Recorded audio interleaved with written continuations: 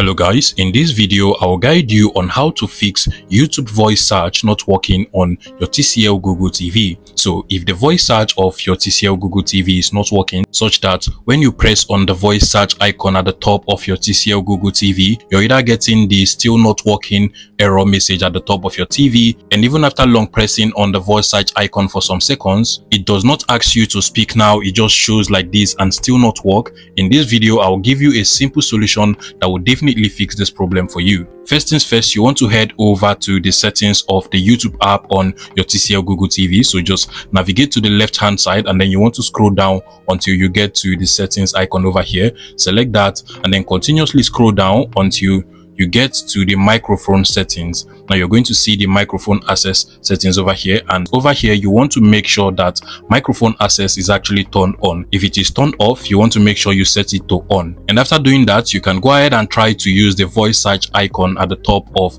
the search bar on your TCL Google TV and see if that will fix the problem for you. If that does not work, another thing you want to do is to simply just go over to the settings of your TCL Google TV, usually at the top right corner of the TV and then then you want to just scroll down until you get to the apps settings over here select that and then you want to just go ahead and click on the see all apps over here and here you should be able to find all of the apps on your TCL Google TV so you want to just scroll down until you find the YouTube app. You want to select it and then scroll down again until you get to the permissions settings over here. Select permissions and then make sure that microphone is actually set to allowed. So you can see from over here that mine is actually set to don't allow. So you want to go ahead and just select that and then make sure you set it to allow while using this app. So make sure you set that and then go back to the previous page close the permissions page and then you also want to go ahead and clear the cache of the youtube app and also clear the data of the youtube app. This might actually log you out of the youtube app on your tcl google tv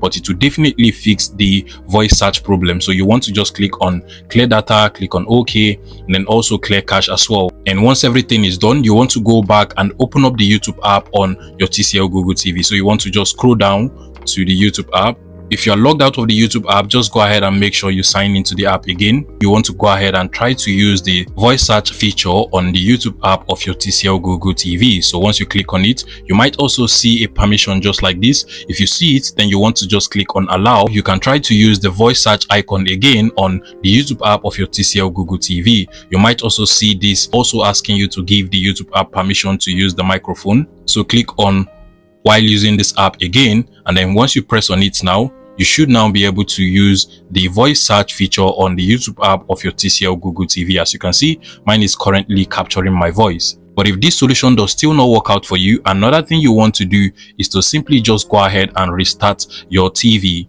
For this, you want to unplug your TCL Google TV from the wall socket, wait for about 10 minutes and then go back and plug it back to the wall socket. Once your TCL Google TV is plugged to the wall socket and also connected to the internet, you can go ahead and try the voice search feature on the YouTube app of your TCL Google TV and trust me, it will most likely work out for you. If you find this video useful, please make sure you smash that like button and subscribe to this YouTube channel guys.